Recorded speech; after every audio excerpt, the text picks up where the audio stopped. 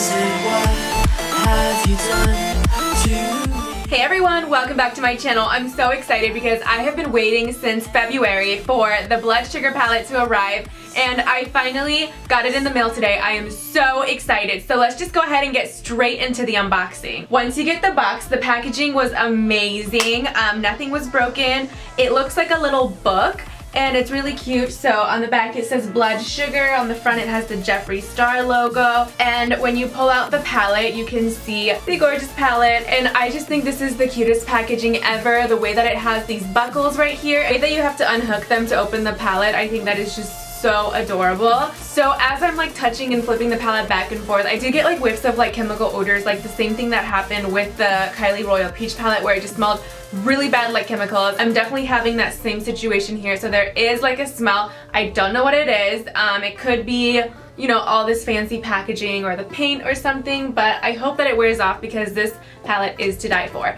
So I created this eye look using this palette, so I'm gonna go ahead and do like a sped up like demo of it because I think that that's probably the best way for you to get an understanding of how the palette performs.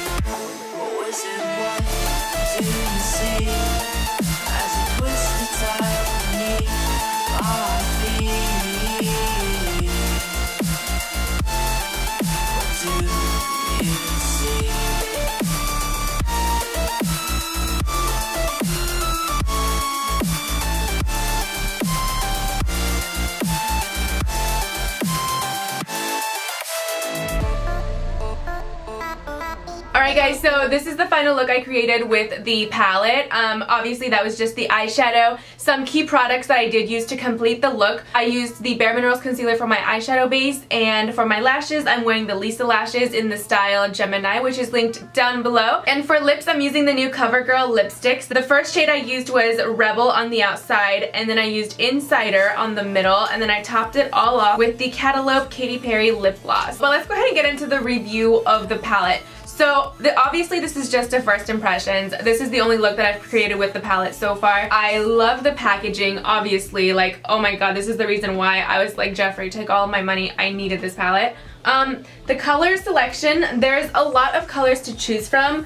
This red was a little bit underwhelming. I was expecting a little bit more of like a red like this packaging, but the red is more of like a pinky red, which is okay um, because you can see how it applies. It applies pretty red on the eye, which is great. Um, the shimmers are super pigmented, just like the Androgyny palette, and the formulas here are very comparable to the Androgyny palette. The only thing is that I find the colors to be repetitive and I wish that there was a black, because we see like a white color here. I wish they had a black color too because I did have to go into my Morphe 3502 palette and use that black to kind of buff out my liner but otherwise all the eyeshadow I used was from this palette so I did love the formula. You have a lot of eyeshadow to work with um, so I'm pretty happy. I'm loving the warm tones. I can't wait to play with like these fun like pink and purple colors.